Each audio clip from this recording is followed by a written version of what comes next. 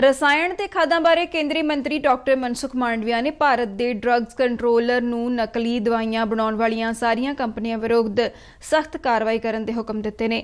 ਉਨ੍ਹਾਂ ਕਿਹਾ ਕਿ ਭਾਰਤ ਵਿੱਚ ਬਣੀਆਂ ਦਵਾਈਆਂ ਦੀ ਗੁਣਵੱਤਾ ਨਾਲ ਕੋਈ ਸਮਝੌਤਾ ਨਹੀਂ ਕੀਤਾ ਜਾਵੇਗਾ। ਕੇਂਦਰੀ ਮੰਤਰੀ ਨਵੀਂ ਦਿੱਲੀ ਵਿੱਚ ਫਾਰਮਾ ਕੰਪਨੀਆਂ ਦੇ ਨੁਮਾਇੰਦਿਆਂ ਨਾਲ ਗੱਲਬਾਤ ਕਰ ਰਹੇ ਸਨ।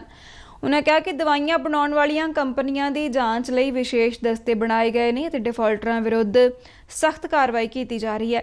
ਕੇਂਦਰੀ ਮੰਤਰੀ ਨੇ ਕਿਹਾ ਕਿ ਫਾਰਮਾਸਿਊਟੀਕਲ ਖੇਤਰ ਵਿੱਚ ਭਾਰਤ ਦੀ ਵਿਸ਼ਵ ਵਿਆਪੀ ਸਥਿਤੀ ਇਸ ਦੇ ਉਤਪਾਦਾਂ ਦੀ ਗੁਣਵੱਤਾ ਕਰਕੇ ਹੈ। ਉਹਨਾਂ ਨੇ ਐਮਐਸਐਮਈ ਫਾਰਮਾ ਸੈਕਟਰ ਵਿੱਚ ਸਵੈ ਨਿਯਮ ਦੀ ਜ਼ਰੂਰਤ ਤੇ ਜ਼ੋਰ ਦਿੱਤਾ।